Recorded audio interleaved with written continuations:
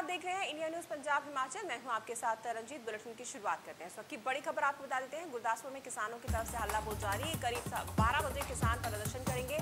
किसान Amritsar, Pathankot, railway track को जाम करेंगे। कृषि बिल के खिलाफ किसानों का प्रदर्शन लगातार जारी है और करीब बारह बजे यहाँ पर किसान प्रदर्शन करेंगे। किसान अमृतसर, पठानकोट, रेलवे ट्रैक को यहाँ पर जाम करेंगे। लगातार किसानों की तरफ़ से पंजाब भर में प्रदर्शनों का सिलसिला जारी है।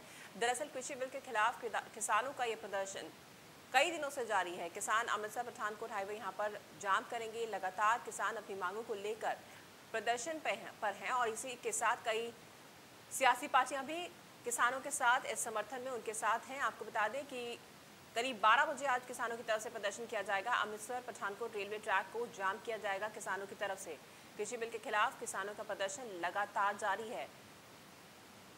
बीते कल भी किसानों की तरफ़ से लगातार प्रदर्शनों का सिलसिला जारी था। कई जगह पर सड़कों पर जाम लगाया गया, साथ ही कई रेलवे ट्रैक्स भी जाम किए गए किसानों की तरफ़ से।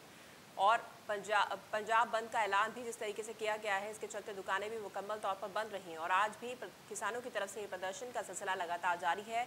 दुकानें मुकम्मल तौर पर बंद हैं और यहाँ पर अमृतसर, पठानकोट रेलवे ट्रैक को किसान जाम करेंगे। कृषि बिल के खिलाफ लगातार किसान अपनी मांगों को लेकर, तमाम मांगों को लेकर यहाँ पर प्रदर्शन कर रहे हैं।